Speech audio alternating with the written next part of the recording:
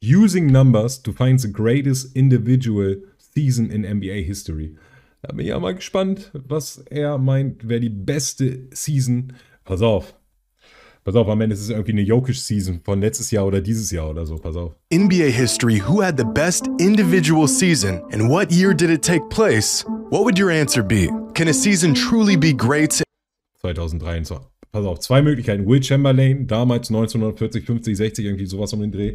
Oder, oder 2023, 2022 Nikola Jokic. if a player doesn't lead their team to a championship? What about empty stats or years where players put together incredible seasons but didn't walk away with the MVP? Just like many other fans of the game, I've always wondered who truly had the greatest season in NBA history. If we were to somehow add up all the things that a player did throughout a season, their impact and value, and condense all of it into one number, some sort of value or greatness score, then we could determine who had the best season of all time.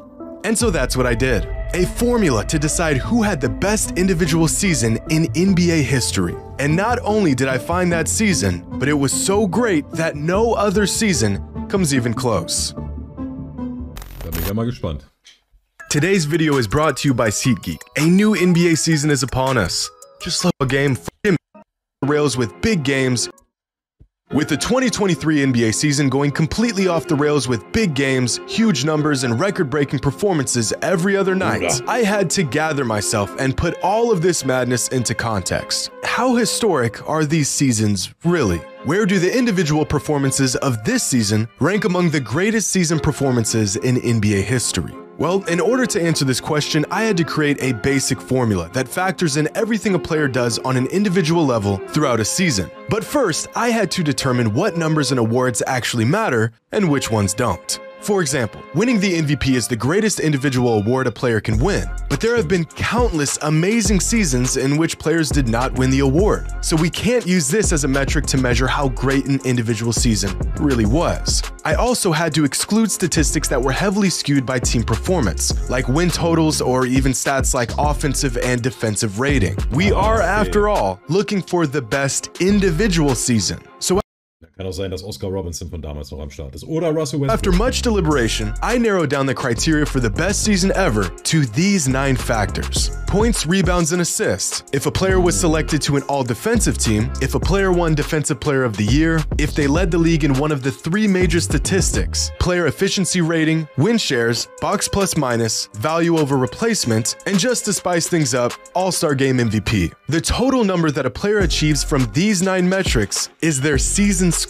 The higher the score, the greater the season. And before we get started, I want to point out a few things. As I stated before, I did not factor in MVPs in this experiment because there's just been far too many incredible seasons where players were not crowned the most valuable player. Like in 1989, when Michael Jordan clearly had the best season that year, but Magic Johnson won the MVP. Another thing to keep in mind here is that most statistics that are available today have only been around since 1975. So any great season that took place in the early 70s and 60s was excluded from this experiment, which actually shouldn't even be a problem since a lot of NBA fans act like those seasons never even happened anyways.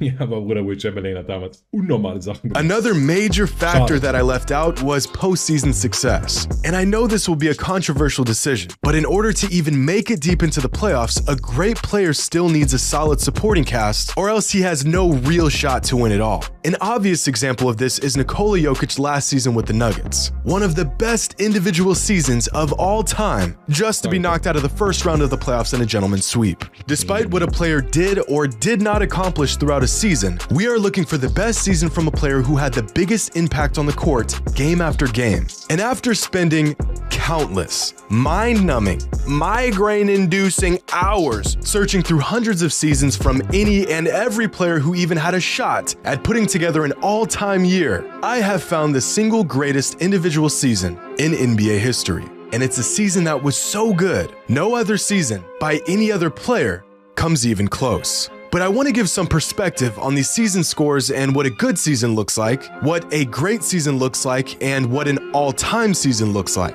Back in 2018, LeBron James finished second in MVP voting and had one of the most complete all around seasons of his career. In hindsight, some fans even believe he should have won the MVP that season. And according to our metric, that year LeBron James had a season score of 109.7. This is a great season by any standard, nearly an all time season. But James Harden rightfully took home the MVP with a season score of 112.4. In 2015, Steph Curry won his first league MVP. Dass erstmal sieht, äh, dass erstmal, dass man sieht, dass irgendwo die Punkte auch wirklich MVP and put together one of the most memorable seasons in recent NBA history. That year, his season score was 97.3. In 2006, Kobe Bryant had statistically the best season of his career and achieved a season score of 119.1. And yet, Steve Nash won the MVP that season with a season score of just 84.1. But these numbers are all relative. A season score of 20 is about league average. A score of about 45 is what you would find in a quality starter. A season score of about 65 is an all-star level season, and a season score of 85 is an all-NBA level season. And once a player gets into the triple digits, a season score of 100 or more, they are well on pace to earning an MVP. But even a score of 100 is nowhere near what a player must accomplish to even crack a top 50 season of all time because the 50th greatest individual season came from James Harden in 2018 when he piled up a season score of 112.4. In fact, here's a chart of the top 50 individual seasons in NBA history according to our season score metric. The first three seasons to crack the top 50 all came from James Harden in just a four year span between 2017 and 2020. Michael Jordan was so good, so early in his career, that even his rookie season made the list as the 42nd best seine Rookie Season. individual season of all time. Tracy McGrady put together his best season in 2003 with a season score of 115.3. Hakeem's 1994 campaign lands at the 35th spot of all time, and just above him, you'll find Steph's unanimous Digga, dass selbst Michael Jordan da noch oben dabei ist, ne, ist halt so wild. MVP season in 2016. Nikola Jokic achieved a career high season score last season with a total of 120.3 points. 1987. The War bestimmt das Jahr, wo er Point Guard gemacht hat. 23rd best individual season of all time. But Giannis actually scored just slightly higher than Jokic did last season with a season score of 120.9. Russell Westbrook's MVP year is the 17th best individual season of all time and easily the best season of his career. Keep going up and we'll find the best seasons from some of the greatest players of all time. Dass Michael Jordan selbst über Russell Westbrook mit seinem Triple-Double drüber ist. Dwyane Wade in 2009, KG in 2004, Kareem in 76. In 2020, Giannis put together one of the greatest seasons ever with a season score of 129.8, just behind LeBron's 2009 Wow, season, which Digga. turns out to be the best individual season of his career, where he earned a season score of 130.2. And after this mark, we enter the Michael Jordan zone. MJ einfach No, alles. where it's a whole lot of MJ reeling off some of the best individual seasons of all time, year after year. And right at the top are the three best individual seasons of all time. David Robinson's criminally underrated 1994 season. Trotzdem Jordan noch so weit oben, ne? Shaq und David Robinson finde find ich angemessene season. Shaq's masterpiece in the 2000 NBA season, and Michael Jordan's 1989 season that earned him a season score Wir finden gerade raus, wer die beste Season ever in der NBA hatte. of 137.7. Hold up. There's one season missing here. Oh, there it is. Michael Jordan's 1988 regular season, widely regarded as the greatest of all time. And that's because it is. With a season score of 154.8, Jordan's 1988 campaign is the greatest individual season in NBA history and it's not even remotely close. But I want to take a deeper look at these results because they reveal some interesting things about what we know and what we thought we knew.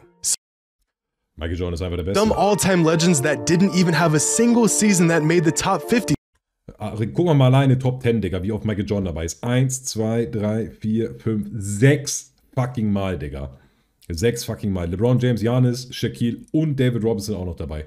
Aber Michael Jordan selbst Platz 1 und 2 list include Larry Bird, Magic Johnson, Tim Duncan, Charles Barkley, Dirk Nowitzki, and many more. On the other hand, there have been a handful of players that have had multiple seasons that crack the top 50. These players include Michael Jordan with 11 top 50 seasons of all time, LeBron James with 5, James Harden, Giannis Antetokounmpo, and David Robinson with 4 apiece, Kareem and Garnett with 3, and Hakeem, Kobe, Jokic, Shaq, and Chris Paul all with 2 top 50 seasons each. But the most interesting thing that these numbers reveal is that the second best individual season in NBA history didn't even earn an MVP. Michael Jordan's 1989 season ranks second mm. all time among season scores, and somehow he still finished second in MVP voting that season behind Magic Johnson, who Magic earned Johnson a season score of 103.9. Oder Magic Johnson war damals Michael Jordan, bevor es Michael Jordan gab, ne? Still a great score, but nowhere near the season Michael had. And if you take a look at their numbers throughout that season, it's clear that a robbery took place here. Same thing happened in 1990 when Michael Jordan put up the fifth highest season score in NBA history and finished not second, but third in MVP voting behind Magic Johnson and Charles Barkley. Oh, and again, the numbers are clear as day. This Da hätte ich mich so drüber aufgeregt. This MVP should have gone to Michael, and it's not even close. Now, the idea that Michael Jordan and LeBron James should have probably won more MVPs throughout their careers becomes even more glaring through the lens of this season score metric. But of all the seasons that made an appearance on this list, only the 2009 season features three players who all put up top 50 seasons of all time. That year, LeBron James, Dwyane Wade, and Chris Paul all not only had historically great seasons, all three of them put up top 25 seasons in NBA history.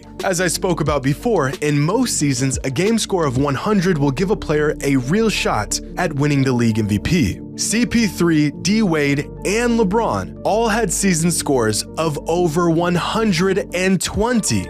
But with this NBA season being flooded with all-time talent and incredible performances every single night, are there any players that are putting together seasons this year that would crack this all-time list? We'll have to make a couple estimations here because some stats within our metric like VORP and win shares are cumulative stats. But at their current pace, here are the projected season scores for the best players in the NBA this season, with the top five season scores coming from Luka, Jokic, Giannis, Embiid, and Tatum. And if a season score of 100 warrants a real shot at the MVP award, then there are currently six, six players who are all having an MVP caliber season. But in terms